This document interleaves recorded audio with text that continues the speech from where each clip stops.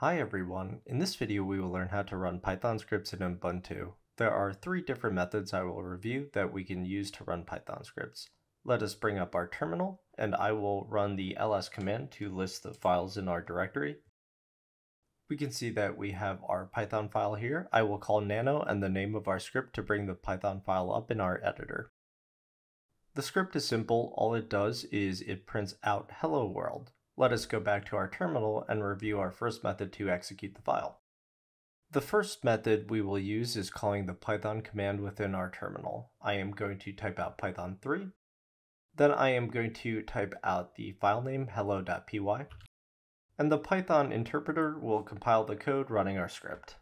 We can see here that we were able to execute the file and we have hello world printed out. The second method we will use allows us to change permissions on a file that will allow us to run it as a program. We will call the chmod command, also known as change mode.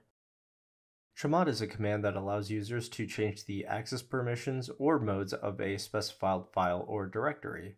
We can call chmod plus x, then the Python file name to make our Python script executable for all users.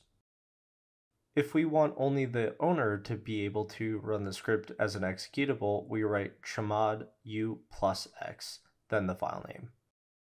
And we have made our file executable. Please note that the chmod command can be only used by the file owner or a super user. Additionally, we need to add a shebang to the top of our Python script. I will call nano again and the Python script name.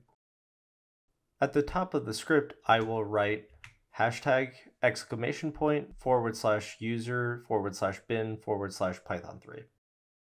And I am going to save this. What this line does is it tells our operating system shell where to find the Python interpreter for our script. We need to set this as our first line of the script, and we cannot have any comments before this line. Let's go back to our terminal. To run the script, I need to put a period, then a forward slash, then I am going to call hello.py and we were able to print out hello world again with our second method.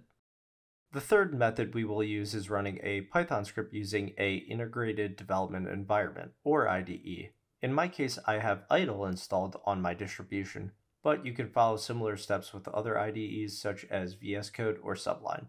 I am going to call the idle IDE within the terminal by just typing idle. Next, I am going to open our file. I am going to go to File, Open, and I am going to select hello.py.